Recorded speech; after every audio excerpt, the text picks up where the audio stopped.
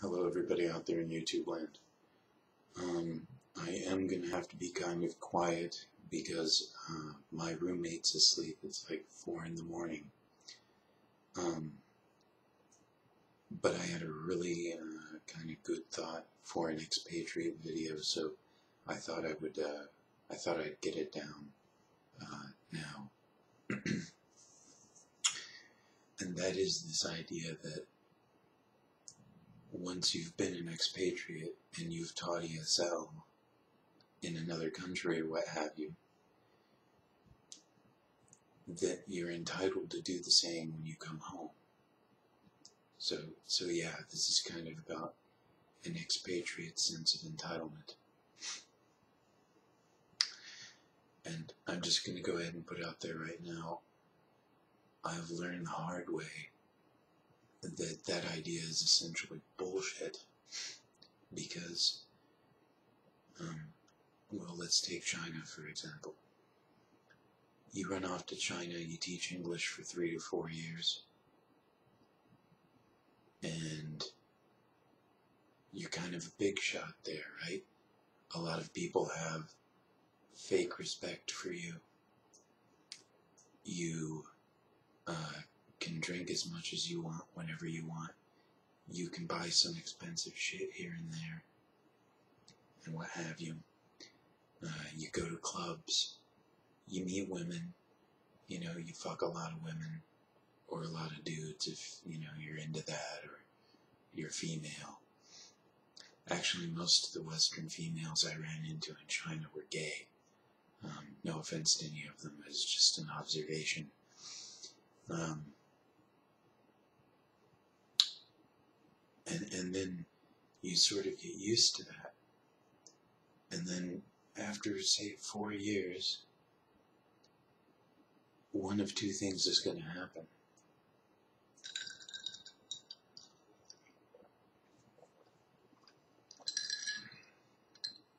More sun tea. One of two things is going to happen. You're either going to kind of get tired of the whole thing and decide you want to come home, or you're going to become a lifer. So if you're a lifer, this video is not going to be useful for you and you may as well move on and, you know, maybe keep your comments to yourself because this isn't, again, for your crowd. Now, for those of you that are going to come home, what you're going to find is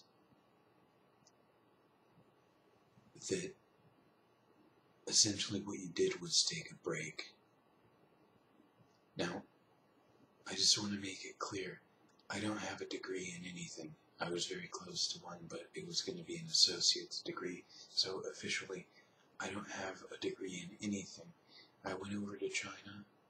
They pretty much lied about everything at the office there. I got asked a bunch of awkward questions I didn't know the answers to. Alright? So that three or four years experience that you had teaching in China, again, was a break. You got to you got to see what teaching was like for a few years, which is sometimes as long as people teach anyway. There are a lot of teachers that don't make it past four or five years. Ten years, you know, would be a, a good amount of time to teach probably in the States at least, or Europe or what have you. It's a difficult job, as I'm sure some of you expats have found out. Just imagine when the students speak English and might have a gun. Um, so you'll you'll find pretty quickly that your expat teaching experience, you know, pretty much means not here. I put it down on my apps as work history, so so it kind of can. Sometimes it can get you in the door uh, but but you know, uh, as as far as like being useful here to to because um, let's say you do find uh an ESL position, right? Uh, all the people that have degrees in education or English are going to get that job before you. And you might get some private work if you're cheap. You could always do that, and, and I recommend it. But if you're looking to like get a job like a nine to five teaching ESL, and you don't have a degree, and all you have is your China experience, good luck with that. I mean, I'm sure some people have done it, but I applied for every uh, every uh, ESL position at every college I could get to in this area, and nothing. All right, it's not like they can really contact your references.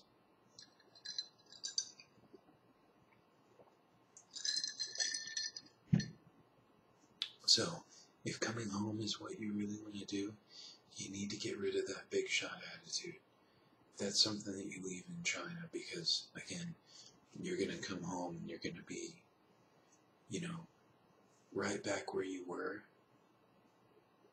uh, perhaps, or back where you were, but you're going to have a slightly different attitude, you know, more mature attitude about things. So that might get you by a little bit better uh, than before, but you have to be you, you have to accept being in again a fairly similar situation.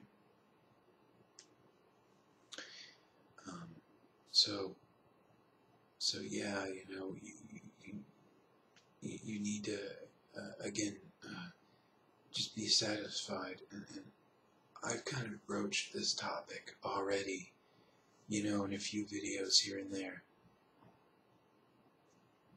But, you know, what you really need to do is, is just, just accept that you're a regular person when you come back here. And aside from the novelty of living and working in China for a few years, it's just that. It's a novelty. You can't expect it to be worth anything to anyone. I know it's probably hard for some of you expats to hear that, that are thinking of coming home, but you, you, you'd better have a plan and, and you'd better be able to do something other than teaching. Now, guys, all the jobs that pay well, and I'm talking like nine to ten dollars an hour starting, those are all jobs that you're going to be using your muscles for. And you know what? That's that's a that's not a bad thing because you know four or five years of teaching can get a little bit old. It really can. So you would be a lot better off. You know, just just getting some research done, contacting some friends, you know, finding out what's available where you think you're going to go and, and start seeing what you might want to do and, and start lining those things up.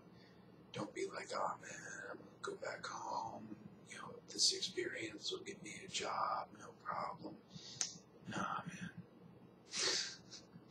don't, don't have that attitude in your head or you're, you're going to be in like some trouble. Now, maybe some of you went to university in China. Well,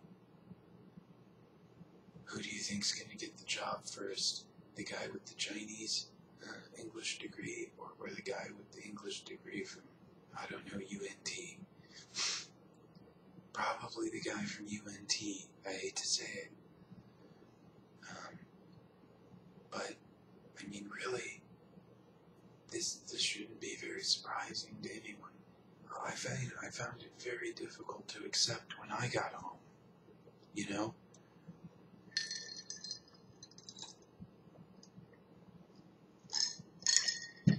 it was very weird to be like, well, but you know, I went did this thing, you know, it should matter. Now, like I said before, if you're willing to, uh, you know, be a tutor, uh, that might get you some places. You can put yourself out on Craigslist, you know, offer tutoring in various subjects, uh, and, and, and, and such maybe you can get somewhere there. But, uh, you know, as far as, as like getting a nine to five, like doing this. There are very few without a degree, without a degree from here.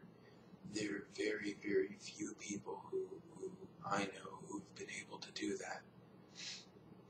And again, it's going to be a situation where you either accept that you can come home and do something else, or maybe even want to do something else, or you stay over where you are forever because you can't do anything else.